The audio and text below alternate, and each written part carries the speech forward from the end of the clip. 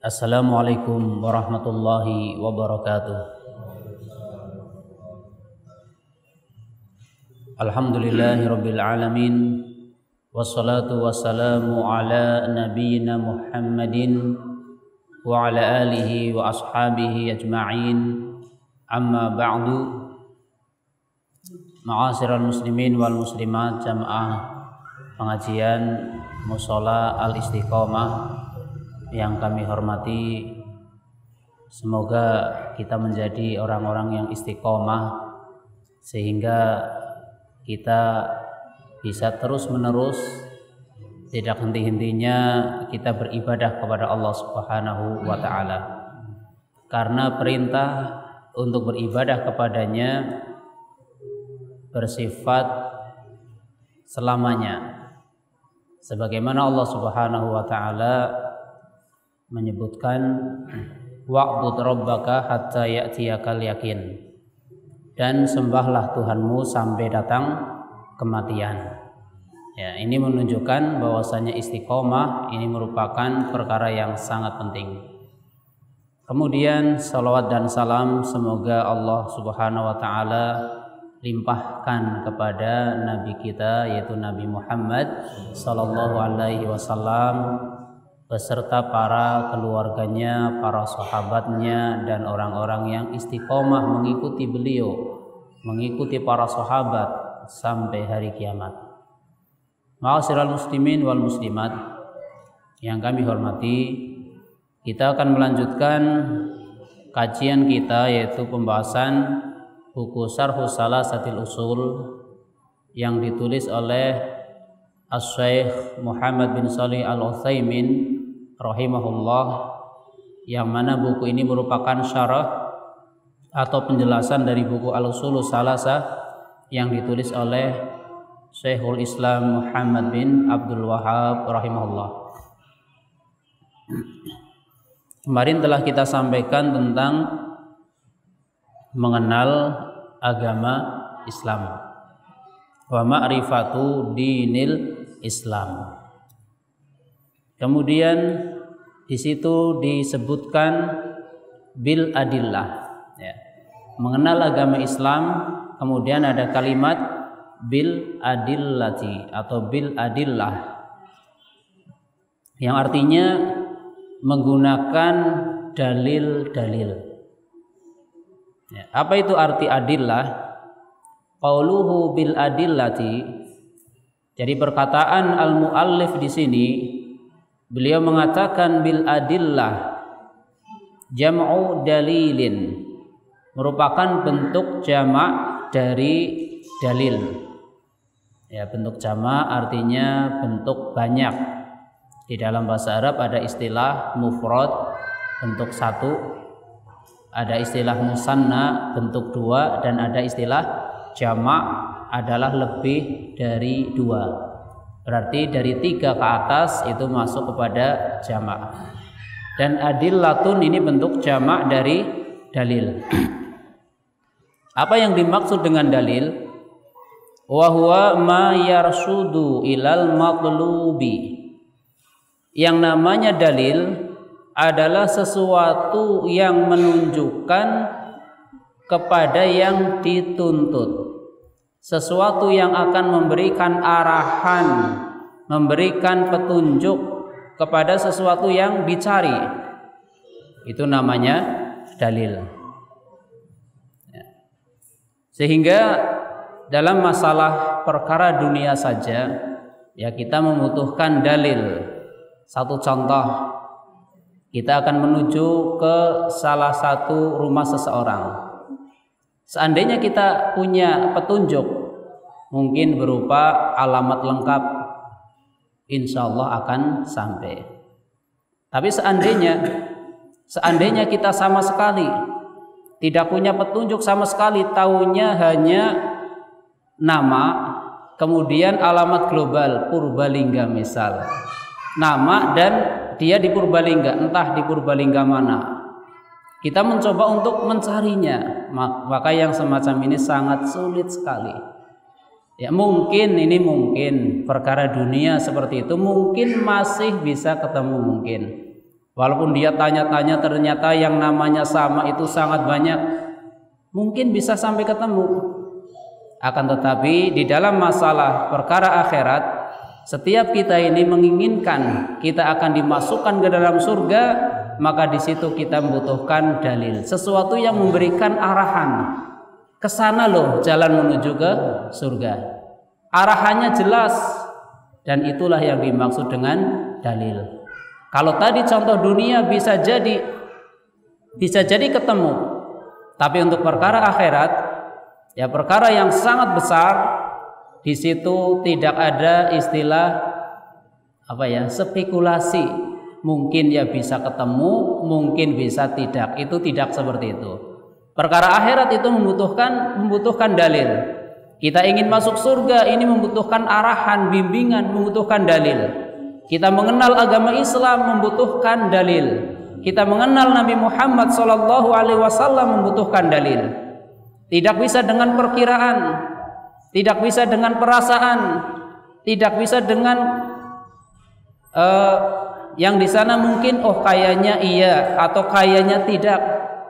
Itu tidak bisa seperti itu.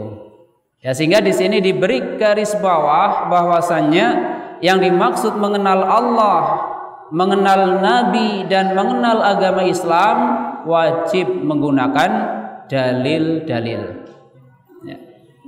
Kemudian di sini disebutkan wal adillatu 'alal ma'rifati dzalika sam'iyatun wa aqliyatun. Dalil-dalil untuk mengenal hal itu semua baik mengenal Allah atau mengenal nabi atau mengenal agama Islam di sana ada yang bersifat sam'iyah dan ada yang bersifat aqliyah. Jadi dalil itu ada dua, ada yang istilahnya dalil sam'iyah dan ada yang istilahnya dalil aqliyah. Yang mungkin lainnya ada yang mengatakan sam'iyah itu semacam dalil naqlinya. Ya, kalau akliyah sama yaitu dalil akal. Ya, dalil di situ ada yang bersifat sam'iyah dan ada yang bersifat akliyah. Apa itu sam'iyah? Fasam'iyatu ma thabata bil wahyi. Dalil sam'iyah adalah dalil yang berasal dari wahyu. Wahwal kitabu wa sunnah dan itu adalah Alkitab yaitu Al-Qur'an was sunnah dan as-sunnah. Nah, jadi yang namanya sam'iyah adalah dalil yang berasal dari Al-Quran dan As-Sunnah. Sedangkan wal akliyah dan dalil akliyah masabata bin nadhari wa ta'ammuli yaitu dalil yang berdasarkan dengan penelitian dengan mencermati ya kita mencermati sesuatu memperhatikannya menelitinya kemudian dikaitkan dengan masuk akal atau tidak itu namanya dalil aqliyah ya. Waqad aksara waqad Allah azza wa jalla min dzikri hadzal nau fi kitabih. Ya maka sungguh Allah Subhanahu wa taala atau Allah azza wa jalla banyak menyebutkan dalil-dalil yang jenis ini yaitu dalil akliyah supaya kita menggunakan akal kita sangat banyak di dalam kitabnya. Di dalam Al-Quran banyak sekali Allah Subhanahu wa taala mengisyaratkan agar di samping kita menggunakan dalil yang bersumber dari Al-Qur'an dan As-Sunnah, maka kita diperintahkan juga untuk menggunakan dalil yang bersumber dari kita merenungkan. Kita merenungkan alam, kita memperhatikan alam, kemudian di sana akan muncul sebuah kesimpulan bahwasannya Allah Subhanahu wa taala memiliki kekuasaan yang sangat luar biasa. Beliau mengatakan, "Fakam min ayatin qala Allahu fiha." Berapa banyak di dalam Al-Qur'an di sana ada ayat-ayat yang Allah berfirman di dalamnya, "Wa min ayatihi kadza wa kadza." dan di antara tanda-tanda kebesaran Allah adalah ini dan ini. Wa hakadha yakunu adillatul aqliyatud dalah 'ala Allah taala. Maka demikianlah bentuk dalil-dalil akliyah, dalil-dalil yang menggunakan akal yang di sana akan menunjukkan bahwasannya Allah Azza wa Jalla atau Allah Subhanahu wa taala memiliki kekuasaan yang sangat luar biasa, kekuasaan yang mutlak terhadap makhluknya. Kita lihat beberapa dalil yang di sana Allah Subhanahu wa taala mengisyaratkan dengan dengan kalimat wa min ayatihi. Ya, ketika ada ayat wa min ayatihi kemudian disebutkan kalimat selanjutnya ini menunjukkan Allah sedang memerintahkan kita untuk merenungkan terhadap ayat-ayat yang disebutkan di dalam ayat tersebut. Di antaranya Allah sebutkan di dalam surat Ar-Rum ayat 20. Allah taala berfirman, "Wa min ayatihi an khalaqakum min turabin thumma idza antum basharun tantashirun." Dan di antara ayat-ayatnya adalah Allah menciptakan kalian dari tanah kemudian tiba-tiba kalian menjadi manusia yang tersebar, berkembang biak, beranak pinak. Ya Allah Subhanahu wa taala menciptakan manusia pertama kali itu satu. Ya tidak langsung dua tapi satu. Yaitu Nabi Adam alaihissalam. Ya dari Nabi Adam alaihissalam kemudian Allah ciptakan pasangannya yaitu Hawa ya istri dari Nabi Adam alaihissalam. Ya sebagaimana Allah Subhanahu wa taala sebutkan di dalam surat An-Nisa ayat pertama. Ya ayuhan nasu taqu rabbakumul ladzi khalaqakum min nafsin wahidah. Ya di dalam ayat ini Allah menyebutkan bahwasanya Allah menciptakan manusia dari diri yang satu. Ya ayuhan nasu taqu rabbakum wahai manusia bertakwalah kalian kepada Tuhan kalian. Ya ayuhan nasu taqu rabbakumul ladzi khalaqakum min nafsin wahidah yang telah menciptakan kalian dari satu orang ya dari satu jiwa. Wa khalaqa minha zaujaha setelah itu Allah ciptakan darinya pasangannya yaitu yang bernama Hawa. Diciptakan dari bagian tubuh Nabi Adam alaihissalam yaitu dari apanya? Tulang rusuk. Tulang rusuk yang sebelah kiri bagian belakang. Kiri tapi belakang. Ya. Diambil satu diciptakanlah seorang Hawa. Kemudian dijadikan sebagai pasangannya. Ya. wabassa minhuma rijalan kasiro wa kemudian dari keduanya Allah me, mengembangbiakan atau menyebarkan laki-laki dan perempuan yang banyak.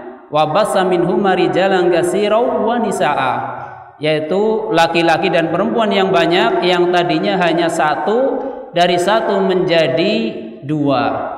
Dari dua menjadi tersebar di muka bumi. Ya ini salah satu bukti bahwasannya kekuasaan Allah yang sangat luar biasa.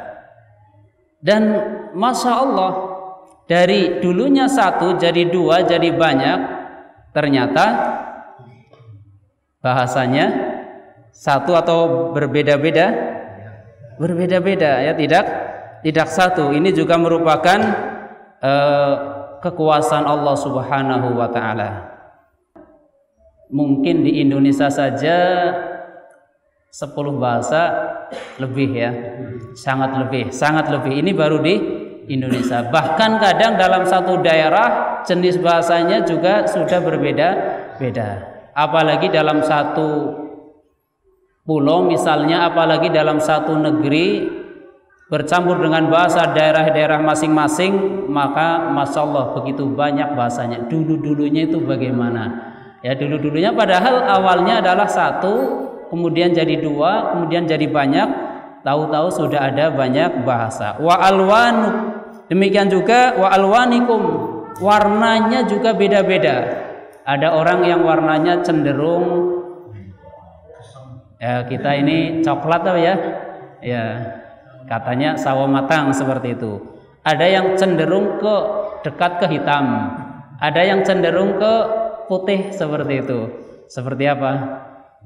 Bule ya. ya.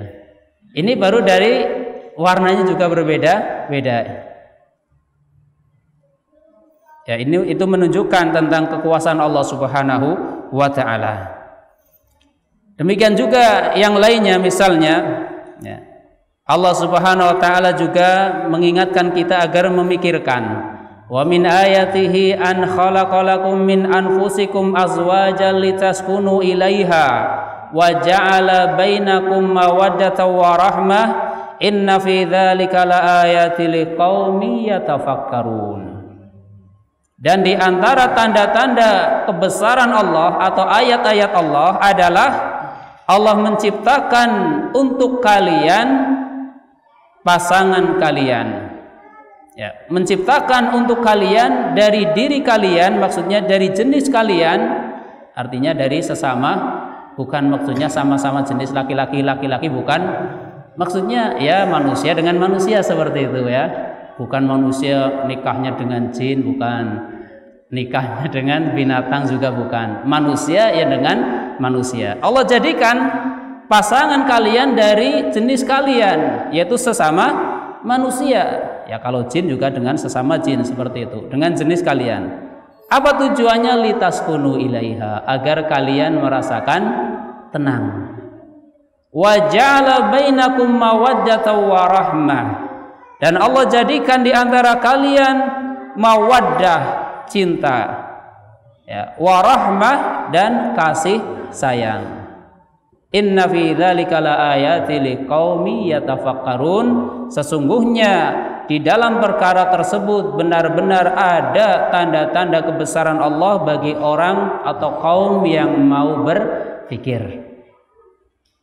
Ya ini mungkin yang bisa berpikir yang sudah apa? Ya ini kan bagi orang yang dia sudah punya pasangan, baru dia bisa membuktikan oh ya betul. Ya, tapi yang belum punya pasangan ya paling sementara sekarang yakin saja bahwasanya kalau iya berarti akan mendapatkan seperti itu. Walaupun belum belum ngalami ya jangan wah itu nggak percaya saya belum ngalami. Eh, enggak, tetap kalau kita belum mengalami ya yakin saja bahwasanya itulah di antara kebesaran eh, tanda-tanda eh, kekuasaan Allah. Bahwasanya dengan adanya pernikahan ini nanti di sana Allah akan memberikan memberikan rasa kasih sayang yang mungkin dan ini harusnya seperti itu. Sebelumnya sama sekali tidak apa tidak pacaran. Kan seperti itu ya. Nggak kenal sama sekali nggak kenal. Tahu-tahu sekarang kenalan besok nikah. Setelah itu baru membuktikan oh ya betul itu ayatnya betul. Bahwasanya pernikahan ini menjadikan kasih sayang menambah cinta dan kasih sayang.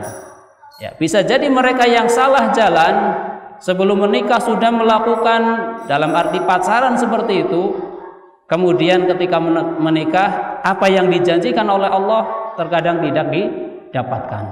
Tidak tambah cinta dan tidak tambah kasih sayang ya dikarenakan mungkin sebelumnya sudah biasa seperti itu. Ya. Ini di antara tanda agar kita mau merenungkan bahwasanya ini merupakan kekuasaan Allah. Allah punya hak, Allah punya wewenang akan memberikan litas kuno yaitu perasaan tenang bagi siapa atau bagi hamba-hambanya yang dia kehendaki. Ya, dan Allah kehendaki adalah bagi orang-orang yang melakukan atau orang-orang yang mengikuti cara atau jalan yang telah disyariatkan oleh Allah Subhanahu wa taala. Kemudian yang terakhir contoh dari ayat-ayat yang seperti itu, ayatnya sangat banyak ya kalau kita lihat di dalam Al-Qur'an sangat banyak. Yang terakhir di antaranya surat Fusilat ayat 37. Ya surat Fusilat ayat 37. Allah Subhanahu wa taala berfirman, "Wa min ayatihil lailu wan naharu wasyamsu wal qamar." Dan di antara tanda-tanda atau ayat-ayat Allah adalah al-lail adanya malam. Wan nahar adanya siang.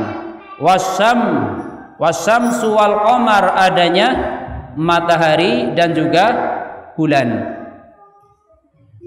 Malam siang matahari dan bulan ini merupakan tanda-tanda kebesaran Allah. Ya bahwasanya kita sekarang sedang mengalami malam kemudian besok mengalami siang. Di situ ada pergantian malam dan siang memberikan faidah yang sangat banyak bagi kita. Coba seandainya nggak ada siang malam terus, bagaimana rasanya? Atau siang terus tidak ada malam. Tapi Allah jadikan ada malam, ada siang, ada saat untuk bekerja dan ada saat juga untuk istirahat.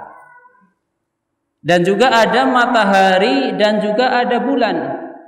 Adanya matahari, adanya bulan ini juga merupakan dua makhluk yang sangat bermanfaat bagi kita, bagi manusia.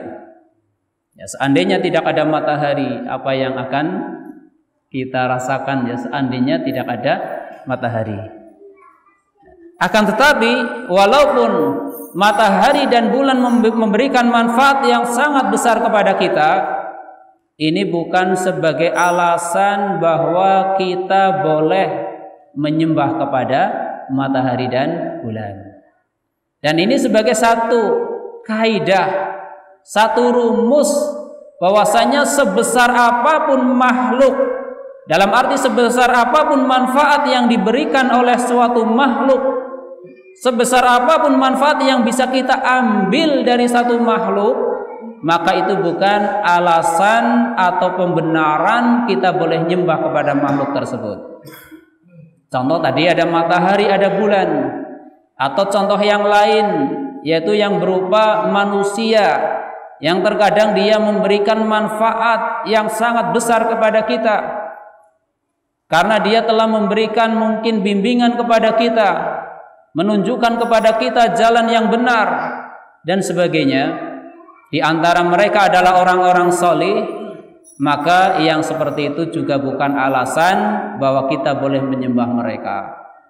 Demikian juga orang yang paling berjasa kepada kita, bahkan jasanya lebih besar dibandingkan kedua orang tua kita. Siapakah beliau? Nabi Muhammad sallallahu alaihi wasallam.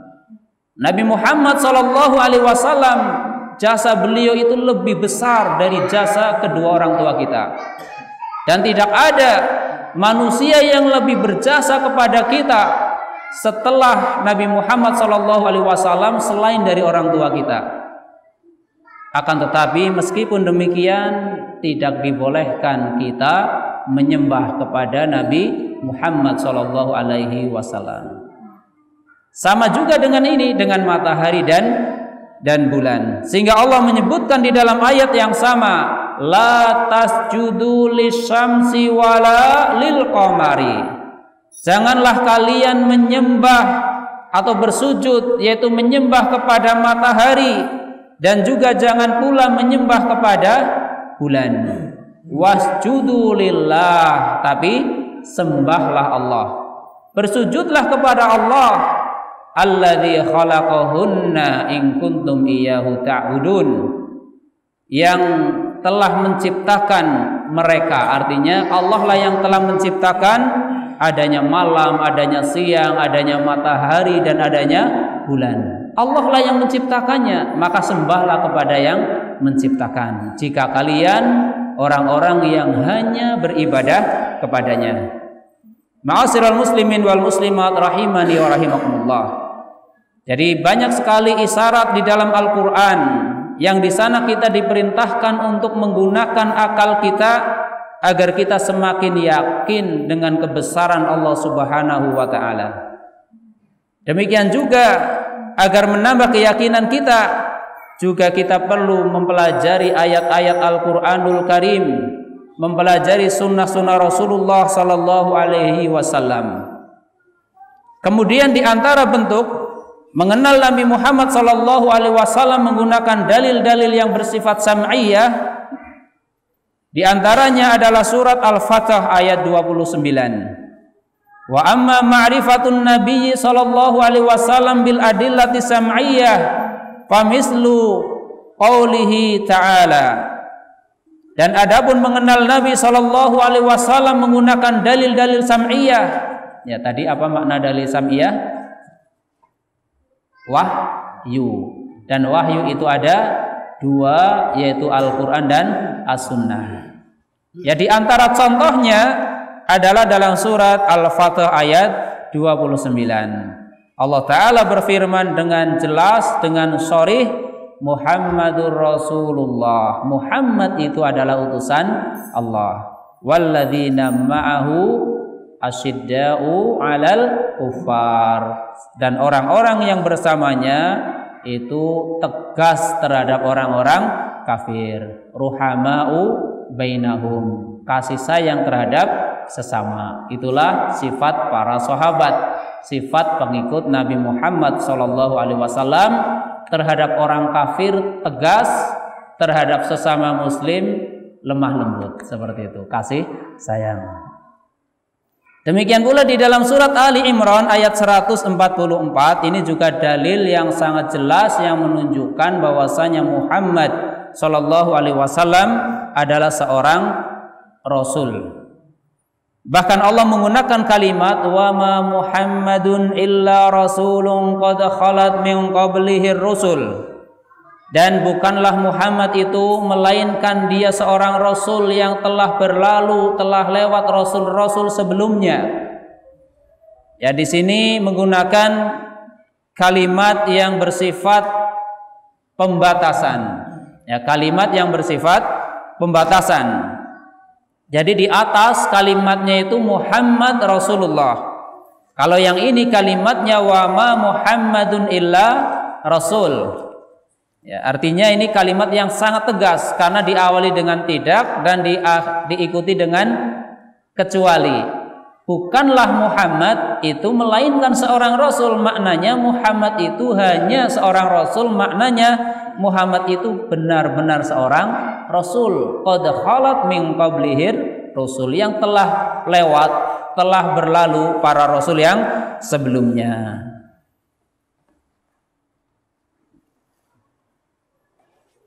Bil adilatil akliyah kemudian kita coba menggunakan dalil akal ya. Kalau tadi kan dalil e, berupa wahyu yaitu ayat Al-Qur'anul Karim.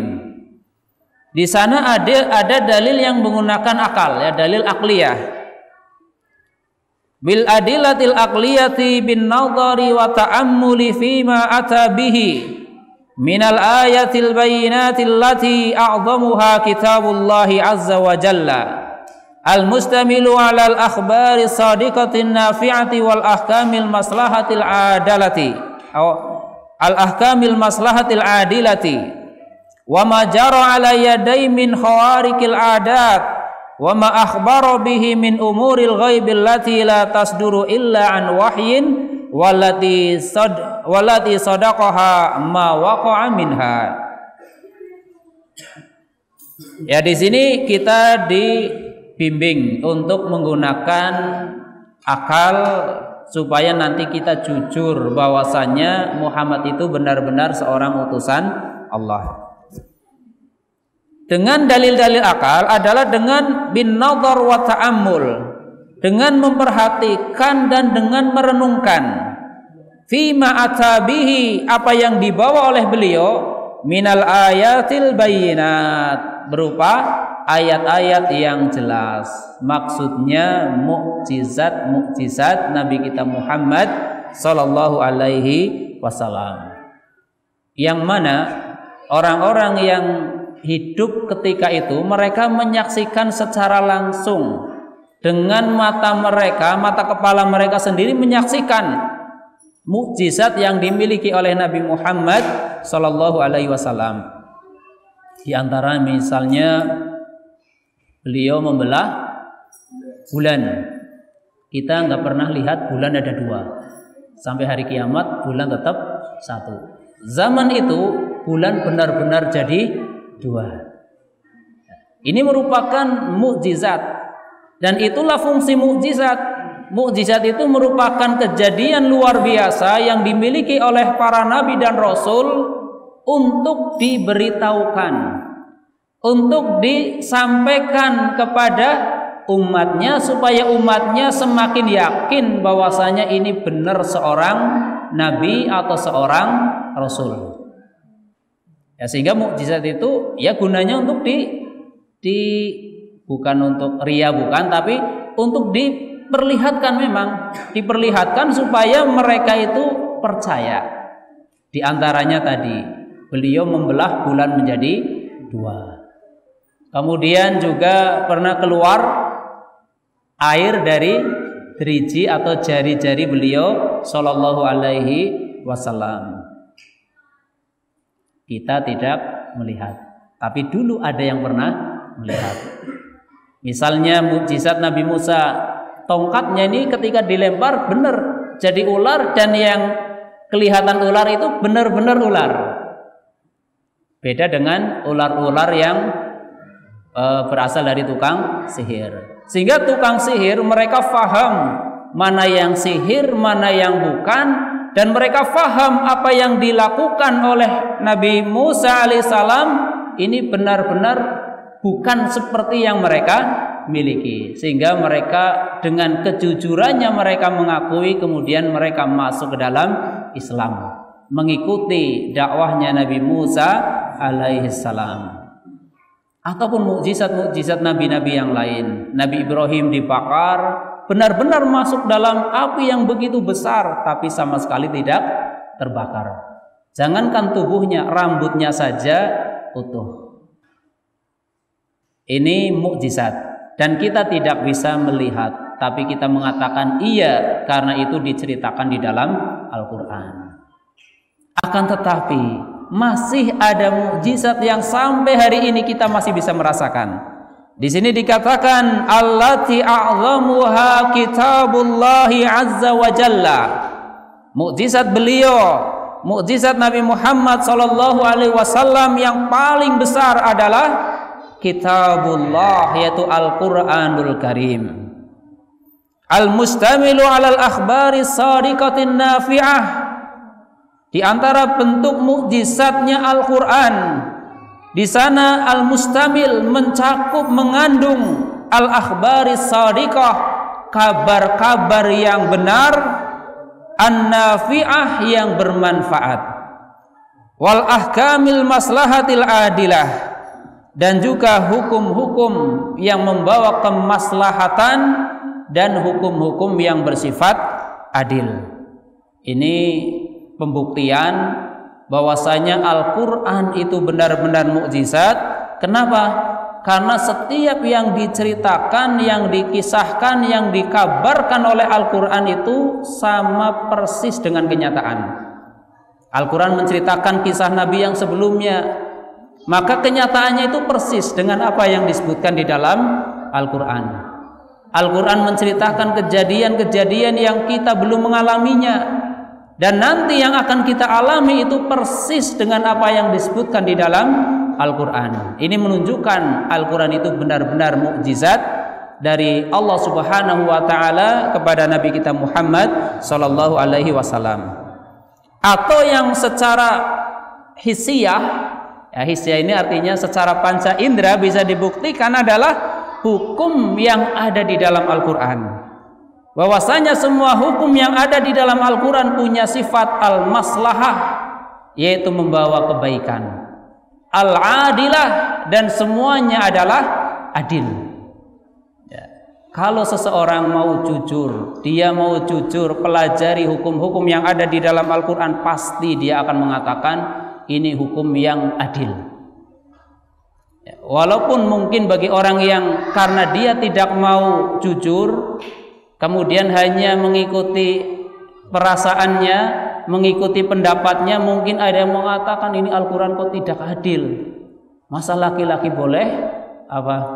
Lebih dari satu wanita tidak boleh lebih dari satu. Ini luarnya, artinya luarnya coba kalau dikaji lebih dalam, pasti setiap orang baik laki-laki atau perempuan akan mengatakan inilah ketentuan yang paling adil. Kenapa ada pencuri kok harus dipotong tangan misal? Coba kalau kita mau jujur kaji lebih dalam. Manakah yang lebih tepat? Apakah ada orang mencuri kemudian dia di penjara empat bulan atau satu tahun ataukah dia dipotong tangannya? Ada seorang pembunuh misalnya, manakah yang lebih tepat? Apakah dia di penjara mungkin 10 tahun, 15 tahun atau seumur hidup ataukah dia dibunuh? Pasti orang yang mau mengkaji ya, kita katakan yang mau mengkaji lebih dalam dia akan mengatakan inilah hukum yang paling tepat. Secara fitrah saja, ini secara fitrah saja misal ada satu keluarga salah satu anggota keluarganya dianiaya sampai dibunuh oleh seseorang. Kita tanya kepadanya. Misalnya Bapak ya, Bapak menurut jenengan hukuman paling pantas untuk dia yang bunuh adik jenengan itu apa? Misalnya adiknya. Ya. Ini hati nurani yang akan menjawab, "Oh, saya inginnya dia juga dibunuh seperti itu." Karena itulah setiap hukum yang berasal dari Al-Qur'an itu sesuai dengan fitrah. Yang namanya pencuri paling pas itu ya seperti itu. Cuma kita fahami ah, tidak setiap pencuri langsung potong tangan di situ ada nisabnya ya ada kadarnya ada kadarnya mencuri tebu potong tangan tidak ya ya nanti setiap kita mungkin pernah dipotong tangan ya ada kadarnya tidak setiap mencuri dipotong tangan semuanya itu ada aturannya secara jelas yang jadi masalah kita belum belajar belum mengkaji sudah memfonis wah ini kejam dan sebagainya padahal kita belum mengkaji Nah, ini merupakan bukti bahwasannya Al-Quran itu benar-benar mukjizat. Buktinya apa? Kalau diamalkan, masya Allah, membawa maslahah. Satu contoh yang sangat konkret yaitu yang ada di zaman Nabi kita Muhammad Shallallahu Alaihi Wasallam yang namanya tingkat kriminalitas itu sangat apa? Sangat minim. Bisa seakan-akan bisa dihitung. Kisah-kisah kriminalitas itu bisa dihitung. Kisah ini, ini, dan tidak sampai banyak. Ini karena apa? Mereka menerapkan hukum Allah. Tapi ketika tidak seperti itu, bisa jadi setiap hari prosentasenya itu wah naik ya drastis naik drastis. Ya, ini karena jauh dari hukum Allah. Ya maka inilah yang menunjukkan bahwasanya Al-Quran itu benar-benar mukjizat. Buktinya tadi ya, buktinya semua kandungannya itu benar, semua ajarannya itu tepat. Kalau diamalkan akan membawa kedamaian, membawa kenyamanan dan sebagainya. Belum lagi di sini dikatakan wa majaru ala yadaihi min khawarikil adat.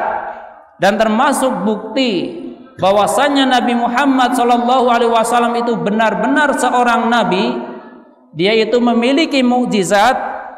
Apa yang terjadi pada beliau min khawarikil adat yaitu kejadian-kejadian yang luar biasa khawarikul adat itu kejadian-kejadian yang di luar adat di luar kebiasaan yang ada. Yaitu mukjizat tadi ya contohnya tadi semacam membelah bulan kemudian tadi keluar e, air dari jari beliau. Ini adalah khawarikul adat. Wa ma bihi min umuril ghaib. Dan juga semua yang dihabarkan oleh beliau berupa perkara-perkara yang gaib hakikatnya beliau sallallahu alaihi wasallam secara zatiyah tidak tahu perkara yang gaib sama sekali tidak tahu. Kenapa kau beliau bisa menceritakan beberapa perkara yang hoib atau banyak sekali dari perkara yang hoib? Itu karena beliau diberitahu oleh zat yang maha tahu perkara yang hoib. Siapakah dia? Allah subhanahu wa ta'ala. Allati la tasduru illa an wahyin. Maka di sini dijelaskan, ditegaskan bahwasannya beliau tahu perkara yang hoib itu la tasduru illa an wahyin. Tidak mungkin dia tahu melainkan pasti berdasarkan wahyu. Kenapa? Karena setiap yang diucapkan oleh beliau itu adalah wahyu. Wa ma yantiqu 'anil hawa in huwa illa wahyu yuha. Tidaklah Muhammad sallallahu alaihi wasallam berbicara dengan hawa nafsunya, melainkan wahyu yang disampaikan kepada beliau. Wallati sadaqaha ma waqa'a minha kemudian dibuktikan pula dengan pembenarannya oleh kenyataan yang ada. Ya, kenyataan yang ada Contoh yang kenyataan yang ada itu jelas yang telah dialami oleh Nabi kita Muhammad sallallahu alaihi wasallam. Beliau adalah orang yang paling segalanya dalam kebaikan, paling bahagia, paling nyaman ya di dunia dan juga di akhirat. Ini contoh yang nyata. Demikian pula bukan cuma beliau, ternyata orang-orang yang mengikutinya juga mengalami seperti itu. Artinya semakin seseorang itu mengikuti beliau, semakin seseorang mengikuti sunnah, maka dia akan merasakan sebagaimana orang yang telah mengamalkan sunnah tersebut. Maka ini sebagai bukti yang nyata bahwasanya beliau Muhammad Sallallahu Alaihi Wasallam adalah benar-benar seorang nabi. Dalil dari Al-Quran ada, dalil dari hadis juga ada, dan dalil dari akal juga ada dan juga dalil dari panca indera sudah dibuktikan ya bahwasannya pernah ada orang yang melihat secara langsung dan kita hari ini juga melihat secara langsung yaitu sisa dari mukjizat beliau yang masih ada sampai hari kiamat yaitu Al-Qur'anul Karim. Dari Al-Qur'an saja kita bisa merasakan betapa luar biasanya Al-Qur'anul Karim baik dari segi lafat-lafatnya, kalimat-kalimatnya, belum lagi dari segi isi dan kandungan dari Al-Qur'anul Karim tersebut. Ma'asyiral muslimin wal muslimat rahimani wa rahimakumullah. Sehingga itulah yang akan dibahas artinya untuk selanjutnya yang akan dibahas di buku ini semuanya itu syarat dengan dalil. Ya semuanya syarat dengan dalil, penuh dengan dalil, baik itu dalil dari Al-Quran ataupun dalil dari As-Sunnah. Karena hanya dengan dalil kita akan sampai kepada apa yang kita cita-citakan.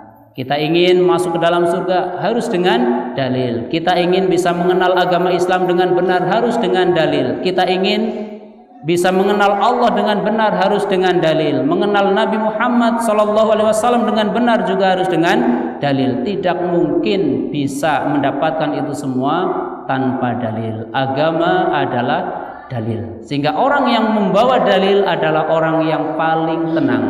Walaupun dia sendiri misal dalam satu tempat hanya dia saja yang berpegang teguh kepada dalil sementara yang lainnya tidak ada satupun yang mengikuti dalil. Walaupun sendiri dia ada rasa puas dia ada rasa tenang ada rasa uh, tidak merasa kecil hati dia akan merasa ya tidak masalah sendirian yang penting ini sesuai dengan dalil Ma'asyiral muslimin rahimani wa rahimakumullah itu yang bisa disampaikan ya pada kesempatan sore atau malam hari ini Atas kesalahan, kekurangan, saya minta maaf yang sebesar-besarnya. Kita akhiri dengan kafarah majlis. Subhanallah anta astaghfiruka wa atubu ilaik. Wassalamualaikum warahmatullahi wabarakatuh.